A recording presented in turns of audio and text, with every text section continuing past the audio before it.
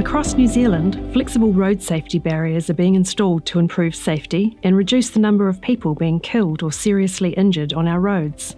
With more flexible road safety barriers being installed, we'll need to incorporate their repair after a crash into our ongoing maintenance program. An important aspect of rolling out median barriers is going to be their ongoing maintenance to replace posts as the barrier is struck. We do know that the tension that's left in the barriers will provide a level of protection but it will be necessary to replace those posts as part of our ongoing maintenance.